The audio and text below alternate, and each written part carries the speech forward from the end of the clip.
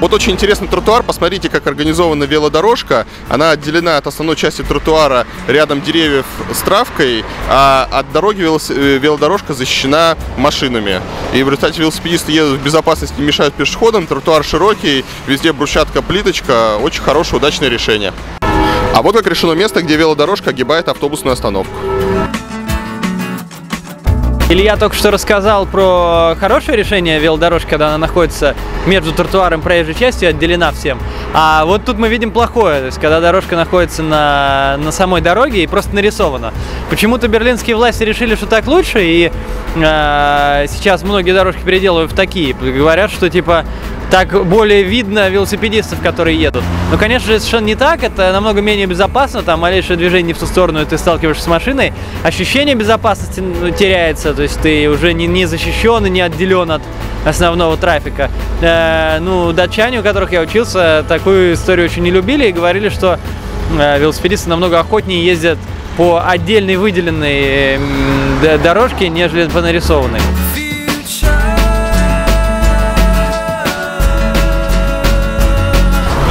А, друзья, вот это вот берлинский столбик, который защищает э, берлинские тротуары от автомобилей. Посмотрите, какой он красивый, стильный. Он сделан из цельного куска металла и очень хорошо и органично выглядит на берлинских улицах. А, Посмотрите, пожалуйста, какие столбики ставят в ваших городах.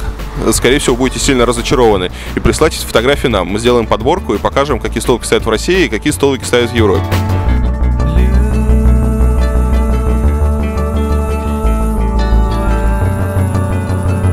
Непонятно зачем посреди обычной улицы в центре города стоит э, колонка действующая, можно накачать воду. Очень странная, еще такая массивная. Наверное, осталась э, с каких-то древних времен, и просто жалко было ее сносить.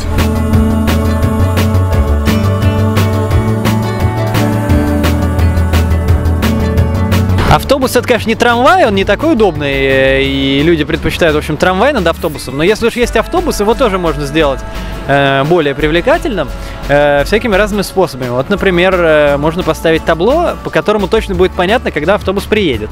И тогда люди точно знают, когда приходят на остановку, сколько им ждать, и, может быть, воспользоваться другим видом транспорта. И это намного удобнее, чем ты пришел и не поймешь, чего там и когда поедет.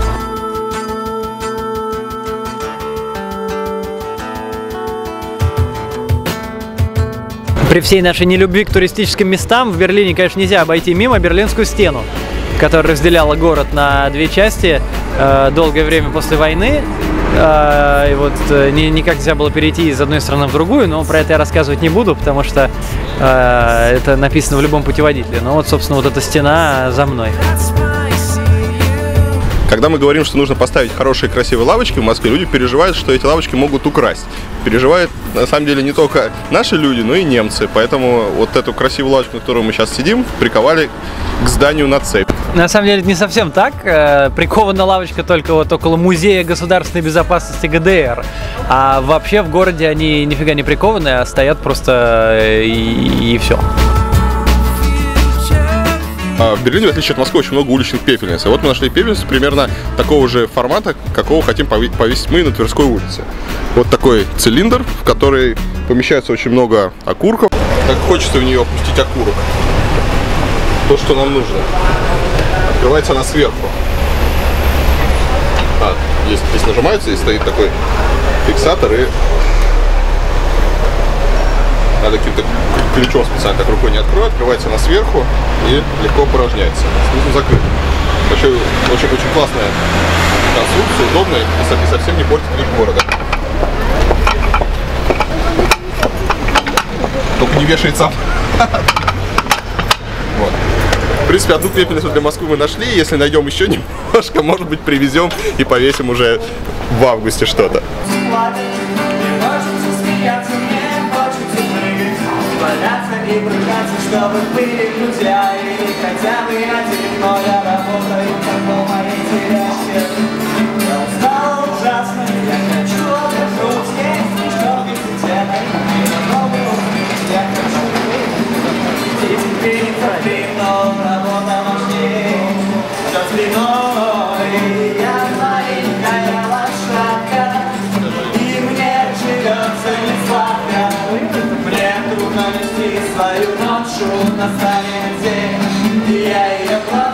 Это пивной велосипед.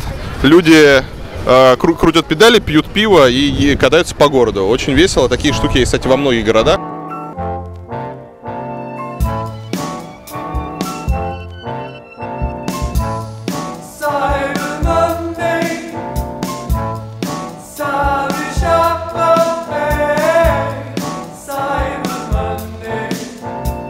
А в Берлине не снимают нелегальные плакаты, которые клеят на столбы и другие поверхности, поэтому со временем э, столбы, они становятся раза в два, в три толще, обклеены тол- толстенными слоями этих плакатов, которые наслаиваются друг на друга, и никто их не срывает.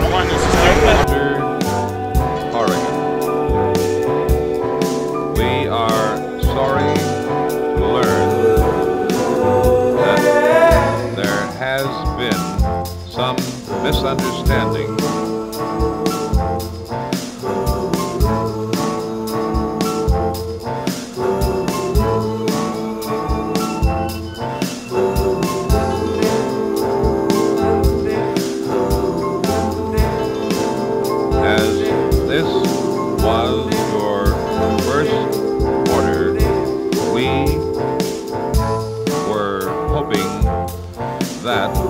Вот в самом центре города э, на реке организован такой уголок с шезлонгами, с качелями, со столиком, совершенно дикий.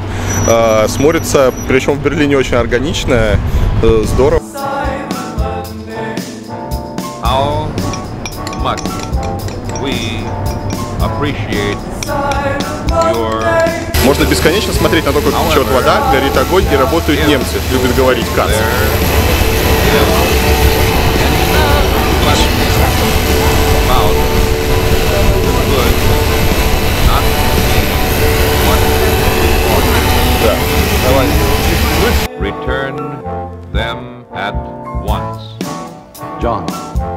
Felt some some fear hanging over us. Don't you feel it? Просто скажу город. Мы сейчас находимся в небольшом парке в центре Берлина. Давайте посмотрим, чем здесь занимаются люди. Not really. I mean, nothing unusual.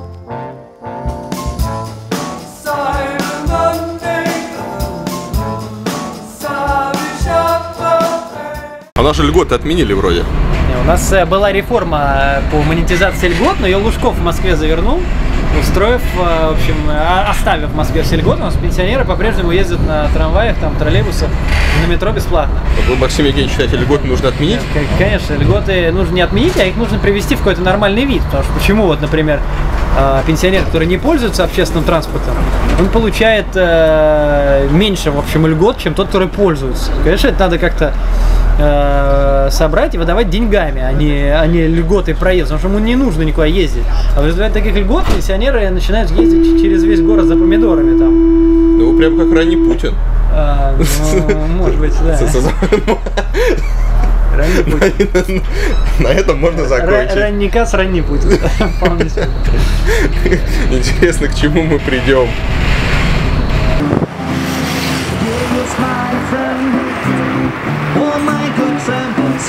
free.